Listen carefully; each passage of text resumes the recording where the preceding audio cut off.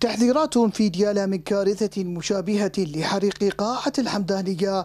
فقد تجاوزت نسبة الإهمال وعدم الالتزام بالسلامة والشروط الصحية أكثر من 40% ثلاثة أشهر فقط هي المهلة للقاعات والمولات المخالفة للتعليمات الحكومية وبعدها تغلق جميعها حفاظا على سلامة الأهالي. هناك الكثير من القاعات وأيضا المولات وغيرها من الأماكن العامة التي يرتادها المواطنين هي مخالفة تصل من 40% إلى 50% أعطاء مهلة لهؤلاء لإصلاح الوضع والالتزام بشروط السلامة المهنية وبعدها سوف تتخذ إجراءات وإعداد محاضر غلق وغلق هذه القاعات. استمرار الحملة وفرض إجراءات الوقاية والسلامة على جميع القطاعات.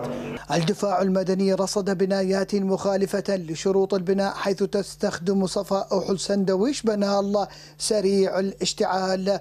مما قد يشعل النيران في أي لحظة ويعرض سلامة الأهالي إلى خطر وموت محتوم.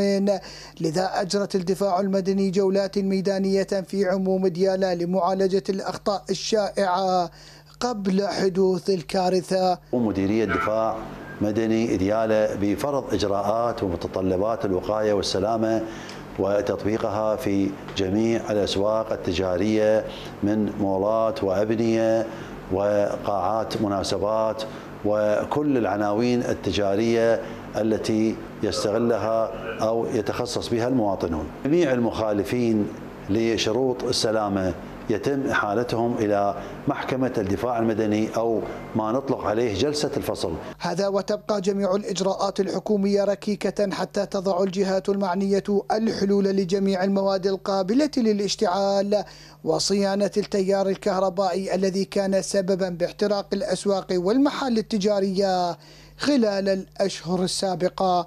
من محافظة ديالى عمر العبيدي قناة الفلوجة.